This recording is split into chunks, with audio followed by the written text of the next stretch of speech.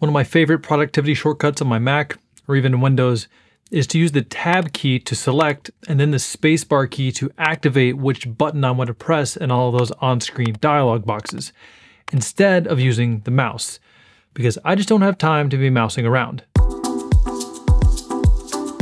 For example, anytime you're prompted with a dialog box like this one, most people just take their hand off the keyboard and grab the mouse and mouse over and click on the button they want. That's inefficient for me some of the time, as I can take my hand away from doing what I'm doing if I'm in more of a typing position on the keyboard. Or if I'm working on a large monitor and my mouse is way over on the other side of the screen, I gotta mouse over to the other side. So I'm gonna show you a quick way to just get through everyday tasks more quickly and how to turn this feature on in Mac OS. And it's enabling the option in Mac OS to use keyboard navigation to move between controls.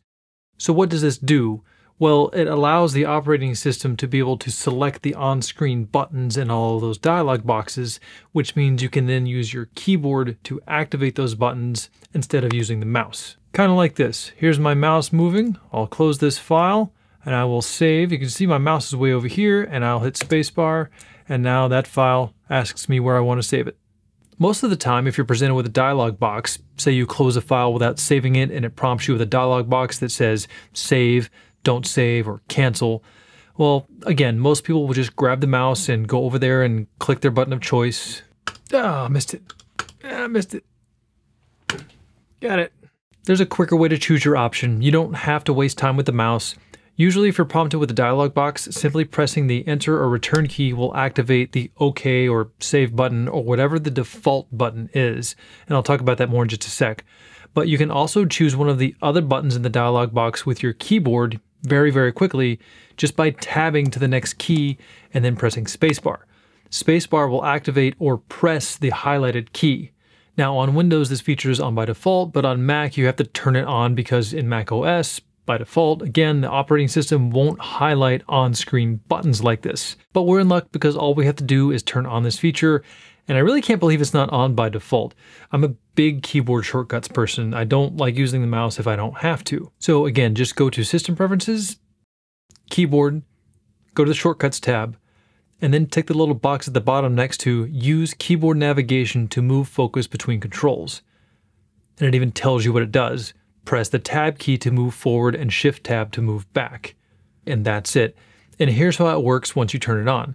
So once it's on, if you're prompted with a dialog box with different buttons to choose from, as I said, there will usually be one button that's already active and that's the default button. And you can usually just hit enter or the return key to activate or have the computer press that button. And you can usually even do this without this particular system preference turned on. Pressing enter will almost always just choose the default button. For example, let's open up Photoshop, but this works probably in 99% of on-screen dialog boxes from any software program. So if I make a new file, draw something really quickly, and then if I try to close this file in Photoshop without saving, it prompts me. And we can see here that the save button is blue, but don't save and cancel are gray. So this tells me that the save button is the default button and I can just hit enter or return and it will then press the save button. And since I've never saved this file before, Photoshop will then show me another dialog box so I can save the file where I want. And again, this usually works without that system preference turned on. Enter will just choose the default action, but there's a little more to it than that now that the preference is on. And you have to have an eagle eye to see it. But if I have the same dialog box, let's say I go back into Photoshop, make a new file again, and try to close it without saving, I have save, don't save, and cancel. Again, we can see that save is blue, but if I press tab, I then see an additional thin blue outline appear around the save key.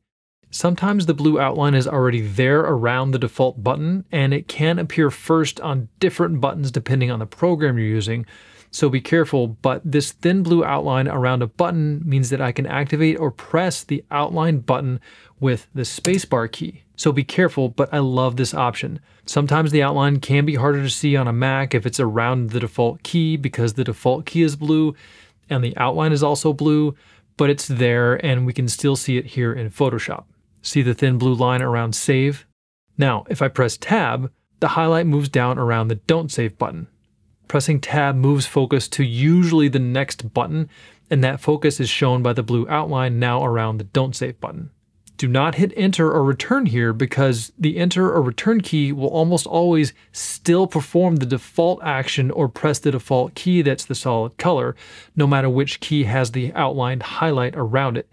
So even if I press tab and highlight a different key, I have to hit spacebar to activate my selected button, whereas pressing enter will still activate, in this case, the save button, because again, the save button is the default key, and the enter or return key activates usually the default key.